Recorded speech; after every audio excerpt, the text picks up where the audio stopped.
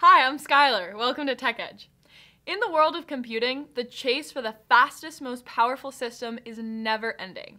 But when it comes to the importance of power, there's a second consideration that gets far less attention. Today we're untangling CPU power output from power draw. Let's plug in.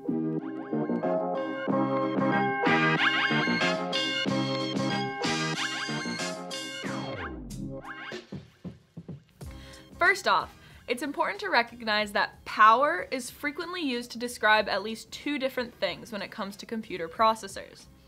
The more commonly discussed of the two is processor speed, generally expressed in gigahertz.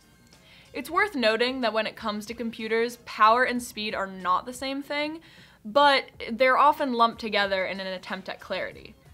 Unfortunately, the result is often more confusion, so let's look at what gigahertz actually means. Gigahertz is a measurement of frequency, or how often something happens, and is made up of two separate terms. Giga represents 1 billion, while hertz means one time or cycle per second.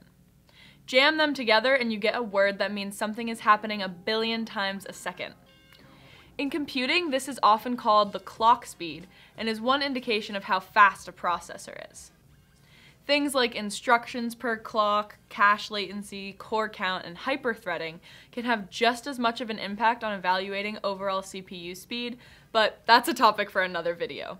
Speed can also be impacted by other factors, like prolonged use at peak output, which can result in elevated operating temperatures and thermal throttling, particularly if a system doesn't have adequate cooling.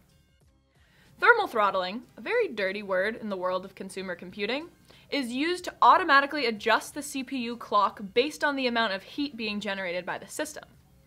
Thermal throttling helps cool the chip by lowering the speed. That can save your system from melting down, but it can also result in reduced performance. This all means that trying to compare one CPU to another based solely on its potential gigahertz output doesn't give you the whole picture. Now that brings us to the second, less discussed power-related topic, for industrial computer users who may be deploying hundreds or even thousands of devices in a facility, either as independent nodes or in a cluster computing setup, power consumption is equally and sometimes even more important. Power consumption is generally expressed in watts, with 1 watt representing a transfer of energy at a rate of 1 joule per second.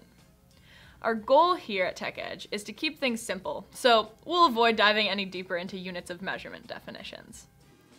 The takeaway is that a CPU requires some amount of watts to operate at its maximum capabilities and will output some measure of gigahertz as a result.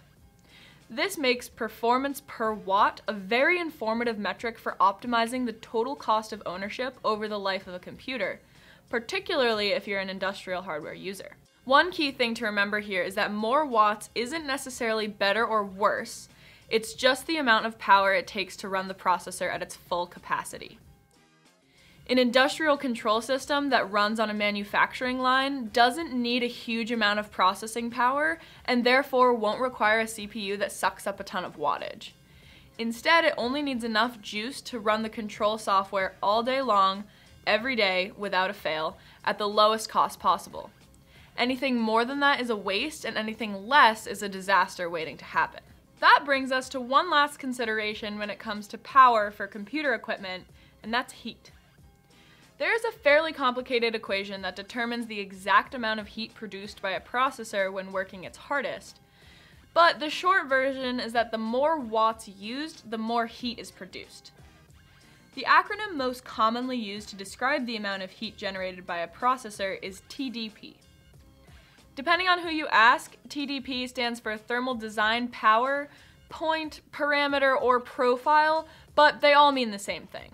Sometimes people use TDP as another way to express power draw, but they're not the same thing. TDP is an especially important spec for fanless and small form factor hardware manufacturers like OnLogic because it provides a guide to how much heat the cooling solution will need to dissipate in order to ensure maximum performance. With that being said, adding to the complexity, at the time of recording this video in November of 2021, Intel has just released details about their upcoming Alder Lake generation of processors. In that announcement, Intel changed how they refer to TDP. In its place, they focused on the new terms of processor base power and max turbo power. There's a lot of nuance here that would be better suited for a future video, but as a heads up, you may start to see PBP and MTP pop up in addition to TDP. The computer industry sure does love an acronym, doesn't it? And speaking of complications, there's also no standardized way that chip manufacturers determine their TDP ratings, even when they were all calling them that. So the numbers can vary from manufacturer to manufacturer.